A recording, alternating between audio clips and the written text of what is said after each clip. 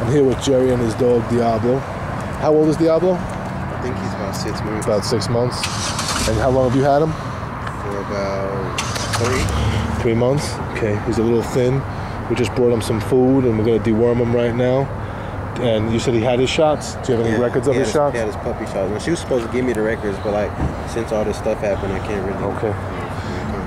Okay. She has the she has the records though. All right. Cause like she has a personal vet that comes in. Oh, yeah? dog shots. Okay. And uh, we're gonna be looking for a temporary home till Jerry can get back on his feet. And we're gonna have him neutered. And we're gonna have him heartworm tested. And uh, we'll get him up to date on everything that he needs.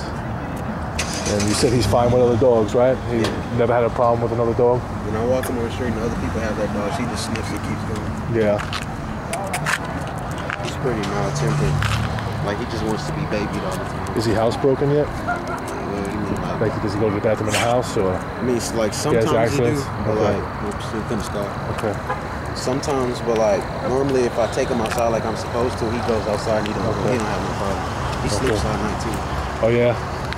Do you, do you keep him in a crate or do you keep I, him? in- I, had, I had a crate before when Okay. we had a house, but now I don't have one. Uh, what happened? You guys lost the house? Hmm? You guys lost your house? Yeah.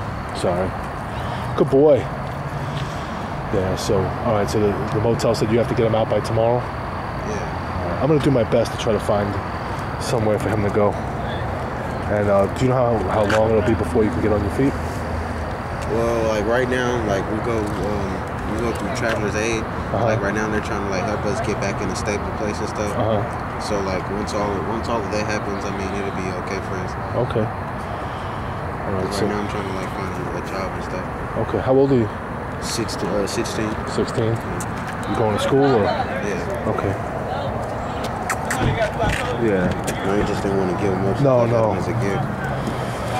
I Uh, knew if I took him to an animal clinic, they'd probably put him to sleep. from, uh, you, you called a good place over there at in Decatur Village Vets. Yeah, because I seen. They're I seen very a- good I seen a car. It was a car, and they Yeah. rode past, and it said Decatur boarding animals or something. I called the number on the side, and they gave me a number to. Uh, They're, they're good people. Very good people. Good boy, Diablo. Good boy. You're a good boy. Hey, Diablo, you like kids? He said he's good with kids? Yeah. You ever have him around cats? Or? No. Okay. He's very, very sweet. Yeah. But let me see what I can do. Um, yeah. I, you'll hear from me tomorrow.